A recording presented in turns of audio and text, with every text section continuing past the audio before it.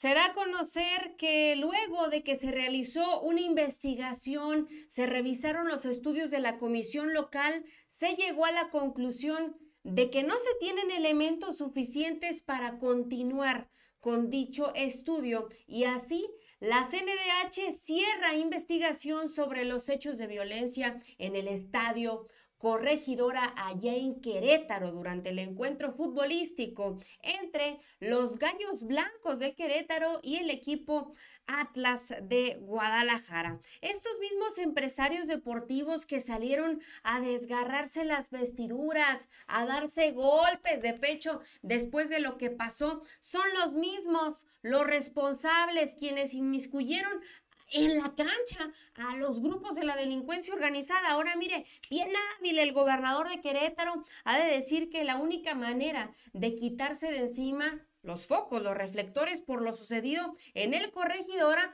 pues era hablar bonito de la echarle flores, pero lo que no comprende este gobernador es que el pueblo no es tonto, el pueblo no olvida. Sí, está bien lo que dice, está bien que la oposición deje esa mezquindad, pero ¿cuáles son realmente esos intereses ocultos, intereses personales? Ojo ahí, que el presidente Andrés Manuel López Obrador no se confíe demasiado y para esta oposición oportunista va dedicada la porra.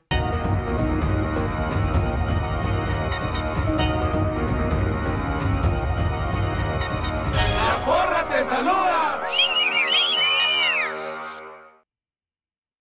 Amigos, ¿qué tal? ¿Cómo están? Bienvenidos a un nuevo video de este su canal Política para la Banda. Mi nombre es Ceci Villalpando, con el gusto de siempre para saludarlos mandarles un beso, un abrazo y desear de todo corazón estén pasando un excelente, excelente día. Antes de entrar de lleno con esta información, los invito a que se suscriban y activen la campanita de las notificaciones para que la plataforma les vaya avisando cuando ya tengamos material disponible. Y vámonos de lleno con toda esta información porque precisamente este gobernador panista sabe que pues eh, hay varios de sus colegas que incluso formaban parte de la tranza federalista, pues que tienen investigaciones sobre sus hombros, que a lo que le sacan es que llegue la unidad de inteligencia financiera a ponerles un hasta aquí, ¿no? Dice el gobernador de Querétaro, quiero que le vaya muy bien al Estado, que le vaya muy bien a México, dejemos la mezquindad, los retos y desafíos de este país, solo los vamos a afrontar si lo hacemos juntos. Y así se expresó sobre el Aeropuerto Internacional Felipe Ángeles. Ayer fui al Aeropuerto Felipe Ángeles. Y ustedes saben, bueno, evidentemente yo no voté por nuestro presidente López Obrador. Muchas cosas de su visión no coincido. Pero hay algo que me queda claro. Es mi presidente y quiero que le vaya muy bien. Podemos pensar muchas cosas, que si hubiera sido más barato, que el otro hubiera sido mejor. No lo sé. Y yo creo, de verdad, que México es mucho más que eso. Que debemos de querer lo mejor para el presidente. Porque si le va bien al presidente, le va a ir muy bien a México. Creo de verdad que esa mezquindad no le está dejando nada bueno a México. Que esa mezquindad de querer que le vaya mal al otro para que me vaya bien a mí es un error. Pues con copia para Lili Telles, Xochil Gálvez, Kenia López Rabadán, el propio Marco Cortés y demás bola de panistas, ¿no? Pero mire, esto trae un, olor raro porque, eh, por ejemplo, hay una cantante, Edith Márquez, y después de que se cancelaron varios eventos masivos en el estado de Querétaro, pues exige a las autoridades de este estado hacerse responsables por lo ocurrido el pasado 5 de marzo en el estadio Corregidora y estas fueron sus palabras. Mira, la verdad es que mi hermana el día que sucedió la tragedia aquí pues fue muy dura en, su, página porque dijo que pese a que habían puesto ¿no? una, una manta donde decía no a la violencia, paren la guerra, a los 10 minutos estaba pasando lo que estaba pasando, pues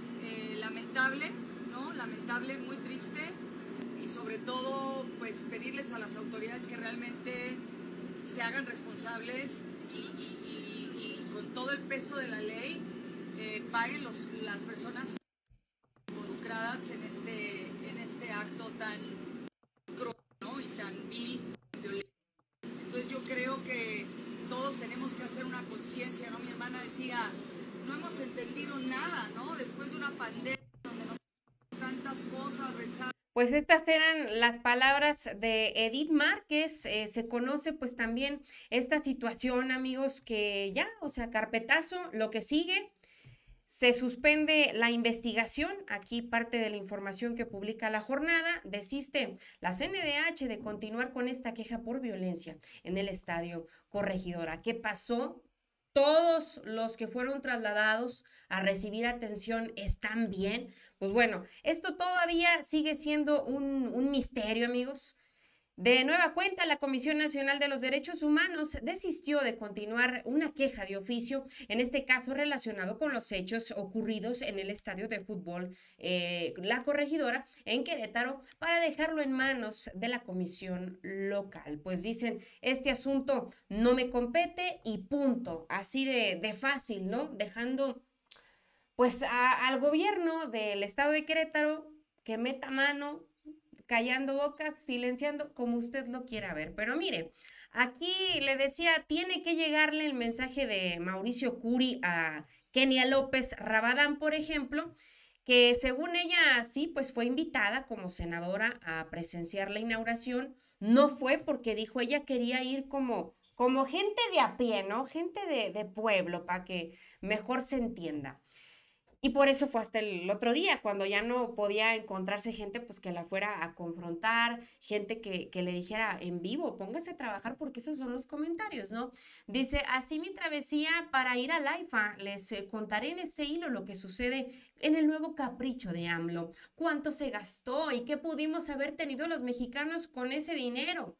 ¿Qué hubiera pasado? Dice, pensado si podía ayudar al pueblo mexicano y aquí la historia. Es un breve video de seis segundos donde según ella pues ya recorrió, no se ve lo que se presume en redes sociales de la tecnología que cuenta eh, este aeropuerto, el mapa interactivo, no, nada más la entrada y ya, nos vamos a donde andan todavía los trabajadores para que sepan, que vean que está inconcluso el aeropuerto, muy enérgica, Kenia López Rabadán, como siempre, dice que esta senadora acudió al segundo día de actividades y pues bueno, eh, para señalar que solamente hubo cinco vuelos el, el martes. Vamos a... Ah, y, para acabarles eh, de una página que se llama Sergio Lupita en el Heraldo Radio. Bueno, pues vamos a poner este video. es poquito, 22 de marzo. Ayer vino el presidente de la República a decir que había cumplido su misión. ¿Esto? Esto no es una misión cumplida, presidente.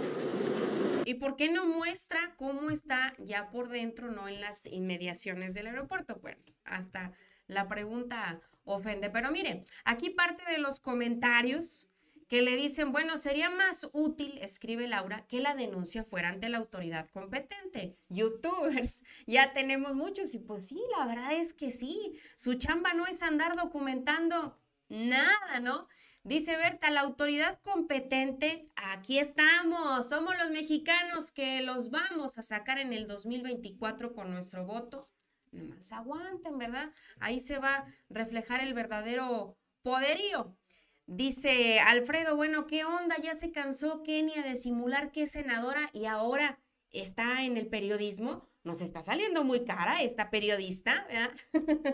que, que entonces decida su, su chamba. Aquí escribe Miguelón, póngase a trabajar, muestren que ustedes también hacen algo. Como chismositas se ven pésimo. Solo eh, soy un ciudadano sin partido, ¿no? Que les está exigiendo a estas, a estas eh, senadoras. Porque no solamente es ella, ya también salió Lili Telles a sentirse casi, casi ya presidenta de México, porque dice junto con Gabriel Cuadri, pues que van a reiniciar la construcción del aeropuerto en Texcoco. Bueno, ahí, ahí parte de esta situación que ahorita no es el tema, ya lo estaremos abordando en otro video, pero mire qué rápido le cambió el chip a, a Mauricio Curi. ¿Qué le pasó? le pasó un partido de fútbol que se le salió de las manos, donde hubo cientos de fotografías y de videos circulando en redes sociales que dejaron al descubierto. Señor presidente, ¿cómo puede empezar una obra sin estos estudios?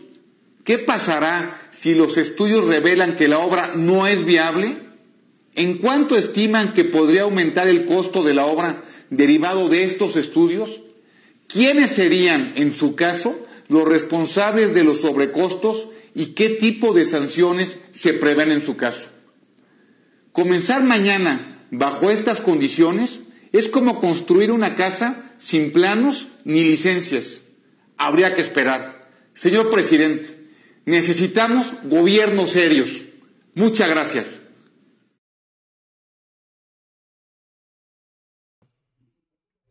Pues esa era la postura del gobernador Mauricio Curi, amigos, pero pues como siempre su opinión es la más importante. Déjenme saber su comentario referente a este tema. Gracias por acompañarme hasta este momento del video. Gracias también por suscribirse a este su canal. No estoy triste, no estoy llorando, amigos. bueno, sí, ¿verdad? Pero es por la, la, cuestión que les había platicado referente a, a mis ojos. Pero ya, parece ser que todo bien.